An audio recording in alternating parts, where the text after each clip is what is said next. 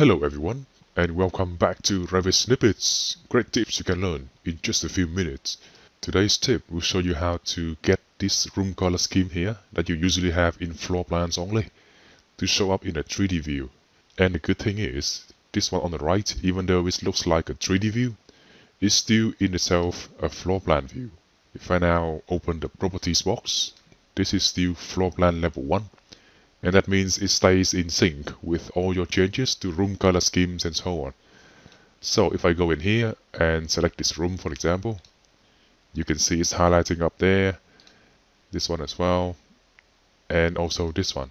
If I want to change some colors in my room color scheme here, both views should update. Let's show that quickly. I can go to color scheme now and maybe change the color of my living room to something else like purple click OK. And you can see it updates in both views and also in my room color legend. That's the living room there. Alright let's see how we can get this happen. Firstly let me just undo that change. I don't want to see this dreadful purple color any longer. There we go. Now let's close this view for now and let's see how we can recreate it the first step is to make sure you can create in your floor plan two perpendicular sections. So let's make the first one. Maybe along this kitchen. And the second one perpendicular to the first one. Maybe looking this way. Okay. I can now go ahead and open these new section views. So this one first. Back to floor plan and then open the second one. It's time now for us to see all of them at the same time. So I can now go to the View tab and click on Tile Views. Zoom to fit in each of them. Make sure I can see the whole building there.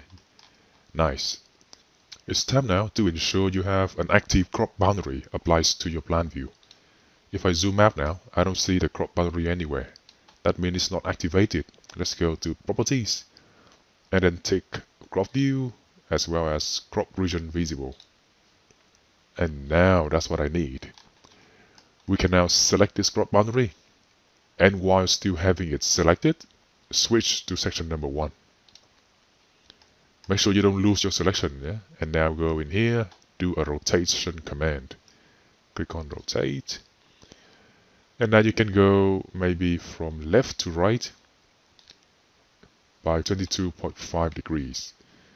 You may ask why 22.5?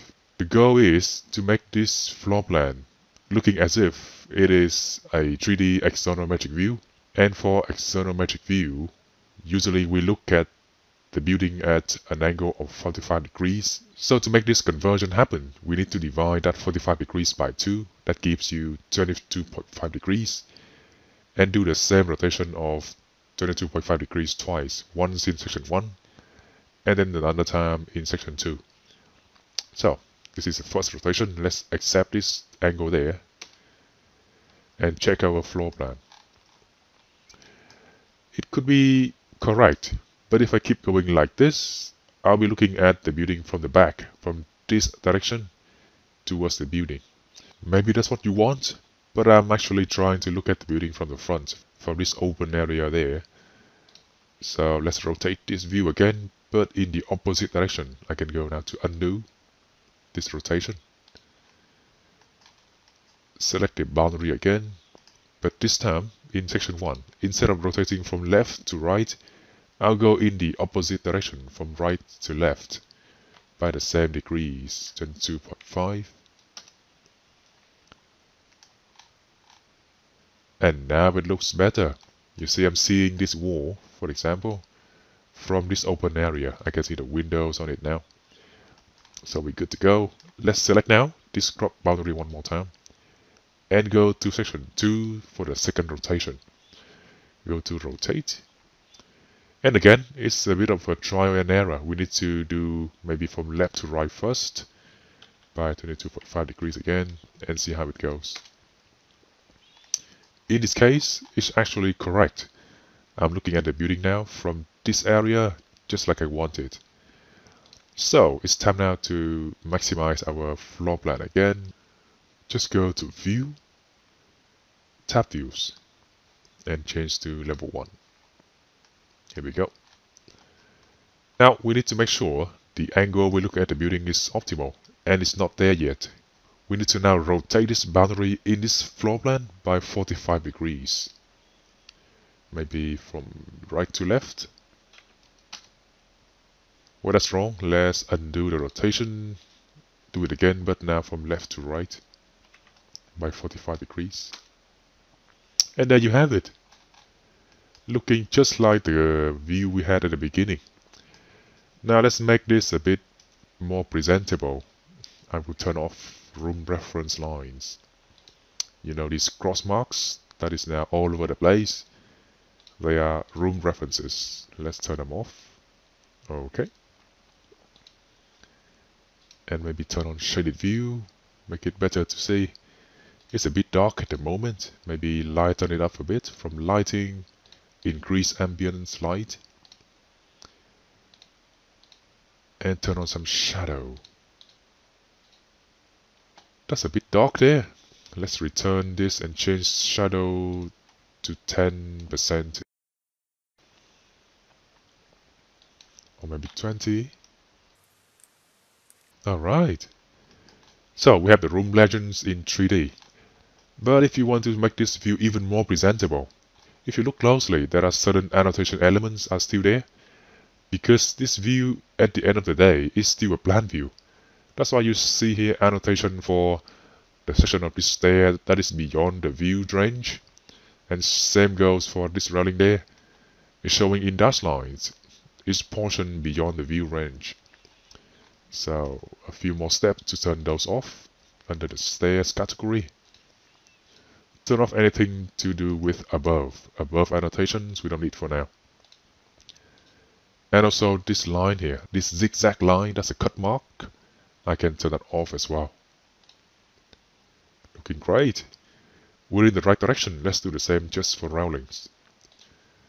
Same thing like before, turn off everything to do with above. And that should be it. Another limitation with this approach is you can see your doors and windows in their entirety, even though you know they should be cut in this plan view. It's just the way those elements categories work with plan views. So a workaround is this, just go to override graphics in views by category and then make them transparent for now, maybe by 40%. Just so you can see clearly your room color scheme. And if you are bothered because of those solid curtain panels, that's a quick way to make them transparent as well. Just go back to VV. Under filter, let's add another filter by curtain panels. I'll call this one all curtain panels. Yes. Apply this to the curtain panels category. And there's no rule you have to select or set because the only rule now is just selecting these elements by their category. Add this to the list now and then override that transparency to maybe 60%. Click OK. Alright, we're almost there. The final step now is to fix this weird shadow. If you zoom closely to this area, the shadow seems to be stopping halfway through the wall's height and that's because we have something not going right in our lighting setting. If I go to graphic display, under lighting, sun settings, I can see the ground plane is now set to level 1 for shadow. Just untick that and let the shadow fall all the way down to whatever elements below level 1. And there you have it. A nicely presented view with room color scheme in 3D everything stay updated to whatever changes you will make to your rooms and your room color scheme. So, practice this yourself, subscribe to this channel for videos like this every single day, and I'll see you in the next video.